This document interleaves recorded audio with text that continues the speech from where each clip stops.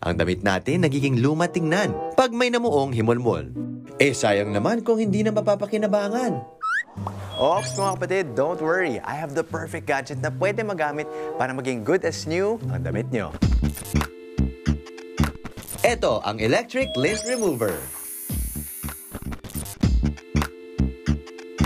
Simple ang design, magaan at madali lang gamitin. I-push nyo lang ang button at piliin ang klase ng power adjustment na gagamitin. Pwedeng soft o hard. Mga kapatid, dahil sa 6-tooth cutter head niya, madaling kunin yung himulmol. At dahil sa makapal na honeycomb grill design dito, naiwasan madamage ang damit.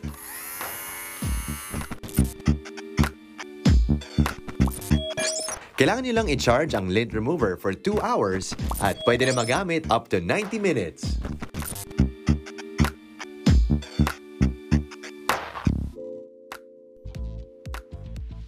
At hawak ko na ang electric lint remover, mga kapatid. Yun. Okay, so actually, napaka-aesthetic. Maliit din siya, lang. no? Actually, Maliit lang. oo. Gaan din. Here. Parang it, siyang hair dryer. Ah, parang yung mga nausong fan Parang, ngayon. parang. Oo. Okay. Wala kanina fan.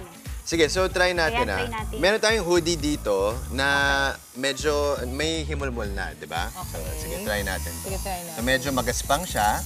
Pero bagay naman, sa'yo to. Hinihigop niya, tapos may may mga Ay, blades pati kasi. himulmol, Oo, may blades sa loob. So, hinihigop Perfect Wow, sa ito, satisfying. Justin. Kasi So, lagi kang may ano, balahibo ng pusa Okay. sa mga damit.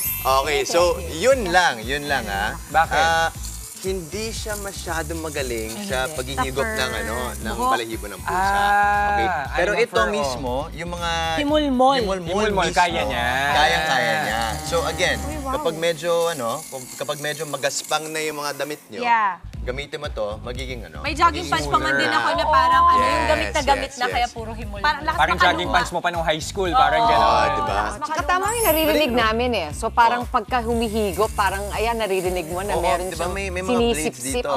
Tapos, napupunta dito. Ayun, oh, kitang-kita, Lagay ebidensya. natin dito ha, sa table, ha? Dito, ito, ito. Yan. Tinan mo. Uy! Di ba? Pero hindi naman niya masisira yung damit, ano? Safe naman yung blade. Hindi Safe naman, safe naman. In fact, dahil ano, dahil kay Barbie, di ba, nagkakaroon din ako ng himulmol. Okay, kasi. Dahil sa kinakalma buko niya. Oo. So, ginagamit ko to para maging smooth siya ulit. Okay. Okay din, okay din. Okay din. Ayun. Lakas makabrand. Yung mga nakalimot, si Barbie po ay ang pusa. Pusa ko. Hindi ang girlfriend. Oo, baka kasi isipin, sinong kumakalmot kay Justin? Oo. Pagkakasabi pa niya, may kuko. Ma sa kanya kumakalmot sa akin dito eh. No? Makita mo nga na wala kang kalmot. Unfortunately, uh, Pusa, pusa. hindi girlfriend. Opo, opo. Okay, so, price reveal na tayo mga kapatid. Ang electric lint remover na ito ay 299 pesos. Mura. Yes. At dahil dyan, ang hatol ko, ay, out of 5 stars.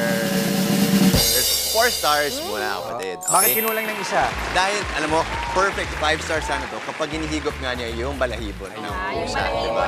Kasi yun talaga yung pinakakailangan ko every day. Alam mo na, may lumilipad na ano, di ba? Fur ni Barbie dito sa set always, di ba? Oo. Pero definitely quality product siya, especially pag gusto mo na maging smooth na ang inyong mga damit. Okay? So maraming salamat mga kapatid sa ating guessing bonding time. Abangan uli bukas ang iba pang mystery item ko dito sa Unboxing. Mga kapatid, Justin Quirino po. Masayang kwentuhan at makapulahang informasyon ang hatid namin tuwing umaga. Kaya mag-subscribe na at mag-follow sa social media pages ng News 5.